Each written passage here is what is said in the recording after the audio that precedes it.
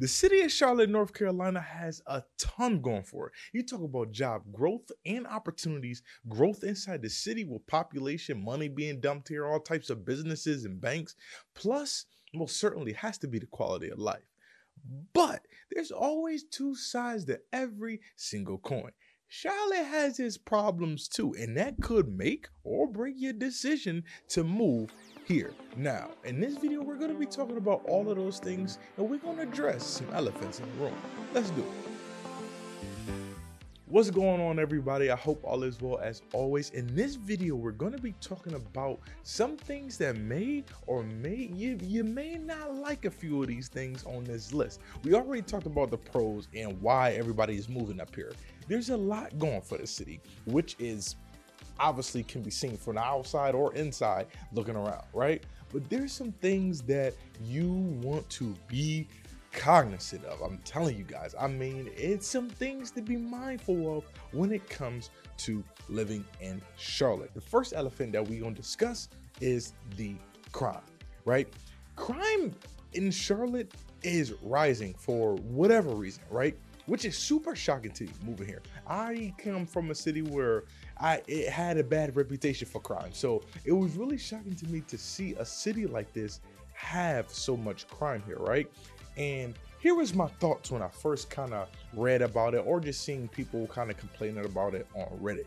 My first thought was, is this like a one section of the city type of thing? Or is this like a couple neighborhoods that's giving the whole city a bad reputation? And if the crime is so bad here, why did myself and a whole bunch of other people move here, right? So I started doing some digging, as most people do. I already did the research for y'all. Don't worry about it. Here it is right? I went on Google. Like I went on Google. I asked some my some of my family members here. And I also, you know, just looked around a little bit. I typed in 10 worst cities or 10 worst neighborhoods in Charlotte. And bang, I, I chose a good reliable source at areavibes.com. I always use Area Vibes. Generally, they're not too biased when it comes to the statistic. I just like the way they use. They use FBI reports and all that. They're pretty good. Areavibes.com. If you guys don't know about them, I use areavibes.com, and I found. You know the top 10 cities that pop, I mean, top 10 neighborhoods that pop up when it comes to crime and the bad reputation that these people get. And it was a mixture of both most of these neighborhoods are in one section of the city, right? And what do you do when you see that? You stay out of those certain areas unless they got good food, I'm gonna go try some food. You know, I'm gonna go down there, I'm gonna get my food, and I'm gonna go home. but nonetheless, you, I mean, just be smart. Use your street smarts in your street sense. Every city has crime, like you cannot avoid it. Charlotte is, I've had, I know people who 60, 70 years old that walk around Charlotte with no issues, right? So it's up to you. Mind your business, going about your day, and don't be causing no trouble. And if you inside that 485 loop, lock your doors. Like you, you know what I'm saying? Don't. These are what I call inner city problems. Every city has them. Lock your doors. Don't leave your front door wide open. Don't leave bikes on the front lawn. Unless you're in the suburbs, you could probably get away with that. But inside the city, man, just be smart. Use your street knowledge. You know. The second one has to be one that especially you guys moving coming from up north like me or maybe even west because you know california gets like a solid 75 or 80 all year round. North we had some cold coming down to the south. The summers from i would say about april maybe even may to about september october Quick public service announcement for you guys that don't know, my name is Devonte Davis, and what you're doing right now, the hours and days and months of research moving to a new area, the stress, the anxiety, what you feel inside your mind. Not only do I know how you feel because I've lived it and I've done it, but I've also helped a lot of people do the same thing. I've been in real estate well before I moved up to Charlotte, and this is why I came to Charlotte to help more people to move up to this great city. This city is awesome, man. There's so many things to do, so much growth and things happening. But the hardest part is figuring out where you're gonna live, what you're gonna do, where you're gonna go to school, shopping, all that good stuff. I've done the research. I've spent thousands of dollars on plane tickets to get myself up here, and I'll help you have a way cheaper and easier way to move up to Charlotte. So make sure you guys, if you are thinking about moving up to Charlotte, hit us up with a call email, text. You either get myself or I'll pair you with somebody close to me on our Charlotte team to make sure that you have the best experience possible when moving up to Charlotte. Because I know it. It's stressful moving from one city, especially if it was your hometown, to a brand new city. All right, so hit us up, call, email, text. Now back to the video. It's a humidity in Charlotte that will, I'm, ta- I'm dead serious. When you walk outside your front door, sweat. I'm not I mean, you can see it kind of, you can see the, you can see it just piling up on your forehead. You're, it's a beastie summer in some cases, man. It gets hot here. I mean, hot. You, there's, if you trying to walk around between 11 a.m. and 3 p.m., you're silly. I'm not even trying to be funny. Unless your body is just like that, bike rides, going for a midday run, all that stuff is out the door. You either hitting that in the morning or you hitting that in the evening. You're not gonna go for a jog at 2 p.m.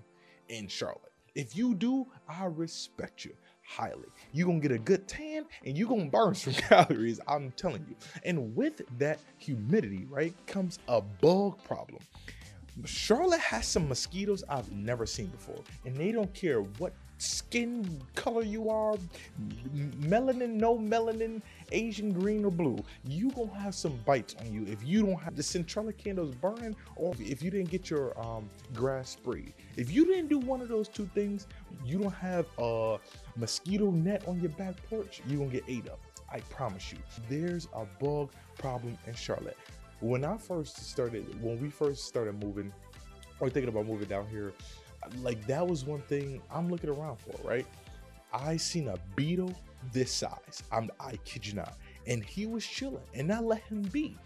As long as he don't enter the house, I'm cool. But it's some bugs out here, and it's fascinating to me too because it's like this, like Charlotte has this red clay dirt, and if you're trying to wear white sneakers and you go into a backyard barbecue, forget about it, right? Those sneakers are gonna be crushed.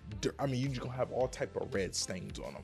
But Charlotte has this red dirt, so I'm trying to figure out how they down in that dirt. Generally, it's like good soil that these bugs want to be in.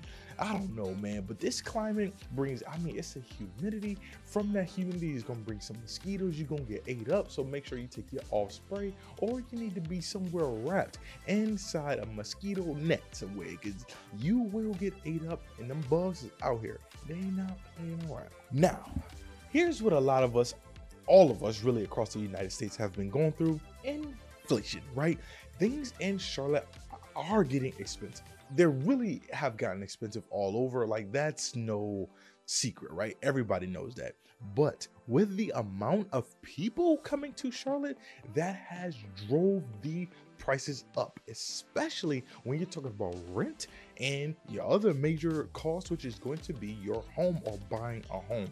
Those homes that used to be three 250 right 300 325 those are now pushing especially when you talk about existing homes are now pushing half a million right? High 400 so those things that are those are things that you guys want to think about. Is that a nationwide thing? When you look at the trend from charlotte and compare that to a nationwide thing yes they all have been on an uptick especially ever since covid. But with the amount of people who is moving here it's driving the prices up even higher. So those are things that you guys have to think about. It's in the South. You think, hey, I'm going South, so things should be a little bit cheaper. Not necessarily in every single fashion. Taxes, yes, I think taxes are a little bit lower, especially coming from where I'm coming from. Taxes are massively lower when it comes to property taxes. Like, for instance, in Buffalo, where I'm from, you can easily for a 300 400000 dollar house you can easily i mean easily pay five to eight grand a year in taxes. Down here in charlotte you're not paying close to that. So it, it is it really is subjective to your income what you guys are doing your job your sources and how in what ways you guys like to live. If you think you coming up here with 30 50 grand a year as a household income, it may be a little tough for you. I'm just being honest. And just looking at rentals, especially inside the city, it may be a little tough for you. You can easily pay 1800, 2 grand for a one bedroom inside of Charlotte. Easily. easily, right? So those are things that you want to think about. So again, it's going to be subjective to how much you're making. As a household income, if you're bringing in you know 60 i think the median household income right now in charlotte is like 68000 69000 something like that. If you're sitting around that mark 70000 you're going to be okay. You're not going to be balling out of control but you're going to be okay. As a household you really want to try to if you can pick it up to like a 100 104000 I think that's the average um, in uh, rental. In- I mean, oh my gosh, I believe if you could pick it up to about 100, 104,000, I believe that is the average, not the median, but the average household income right now in Charlotte. So you'll be okay there. And like you'll be able to still, you know, go out. You won't be going out every weekend, but you can still go out, have a date night with the wife, the babies, and the kids. But the more kids you have, the more expensive it's going to be, as we all know. So just think about those things. Again, there are some things that weigh out when it comes to Charlotte versus the city you're from. So just make sure you guys are looking at uh, numeral or cost of living calculators to make sure that you guys will be able to afford the things that Charlotte has to offer. You know you're gonna get great quality of life, but you still want to be able to live, right? You don't want to just be working just to pay a mortgage. Now, everybody talks about this, and this is one thing. It's it's one of those things that you can't really argue, but it's just here, right? And that, a the people down here can't drive, right? Here's my theory. I'm gonna give you my theory on this. The reason why a lot of people can't drive is because it's a huge transplant city, right? You have so many different people, so many different driving style, ethnicity is super diverse in Charlotte, which is the most one of the most amazing things. And in that same breath, with all these different, all this different diversity, everybody doesn't drive the same. Everybody from the West Coast doesn't drive like people from New York. New York definitely doesn't drive like people from anywhere. That's the most aggressive driver I've ever seen in my life. And people, with the natives of Charlotte, who's actually born and raised here, they pretty much chill. Like they go with the flow. It's everybody else. There's always a car either pulled over or there's a car accident on the highway all the time. People here play speed racer and going nowhere. It's fascinating to me. I mean, there's like the amount of people who cannot drive in this city is fascinating. So, ju- please just be careful. Again, it's so many different backgrounds, so many different people, and then plus on top of that, you have the tourist, right? You have the people who want to drive down the highway and look at everything, right? I was one of those people. That's the only reason why I said that. But you, you know, when you're in the city for the first time, you want to look at everything. So you also have those people you need to watch out for, right? So there's a lot going on when it comes to the driving, and then also with this city they don't have the infrastructure yet. Like, if you think about how fast Charlotte has grown, it's hard as a city to be able to navigate that, keep the roads clear, steady, and paved right inside the city when you just had a million people pop up here in the last 13 years, right? So that is something that you guys are going to have to deal with. Traffic is going to be heavy. If there there's a if there's a Panthers game, a Hornets game, a, any game downtown, uptown, I'm sorry, you are man, you're going to have to be patient if you're going from the city of Charlotte and commuting back to Mooresville, Huntersville, Lake Norman, anywhere up north, you have one road to take. That's I 77. It's gonna be traffic in the morning and after that rush hour on a Friday, you can forget it. You might as well have your water in the car and a snack because you won't be there for a while. Here's the kind of tie off my theory 83% of people that live in Charlotte rely on a vehicle there's not a lot of public transportation, and that leads me to my next one. The public transportation in Charlotte is not good. I think, oh my gosh, I was reading an article the other day. It was like public transportation in Charlotte is like 10th worst in the country, which says a lot for a city that's so large. It is getting better. You have the light rail, um, so that's coming, but uh, well, that's here, I should say, and that's helping a lot, especially if you live in like Noda, Uptown, if you live in um, uh, one of the first wards, like anywhere that light, the, ooh, the South End, which is a nice kind of work, play, eat, sleep environment, and those are walkable areas. Noda, South End, Uptown, somewhat Plaza Midwood, right? Um, but those are pretty much the top four walkable areas. So if you really want to have that eat, sleep, play environment, you don't you want to keep that car in the driveway, I would suggest those four areas. And I got a video already done for you, or it's coming out very soon, depending on which one I drop first. But those are three areas that you guys really want to check out if walkability or you guys really don't want to drive too much, I would check out those areas. And that's gonna be it for this video. We're gonna wrap it up there. I mean, there's some good again, but Charlotte, it, it, it has it has its problems like any other city. Again, with the amount of people that come here, a lot of them are transplants. If you guys want a more slower pace or you guys don't really want those same type of problems, I would think about more the suburbs and then possibly inside the city of Charlotte. The suburbs is going to give you that true kind of southern feel the hospitality um, the, the slow pace sitting on your porch maybe a new build if you guys don't want something that's built in 1954 the suburbs are going to give you that if you got a little more money you a little more you a little more affluent and you want something right on the water or the lake you really probably want to think about lake norman uh, parts of mooresville huntersville like those are areas that's a little more slow pace of living, still a great time, everything you need as far as amenities goes.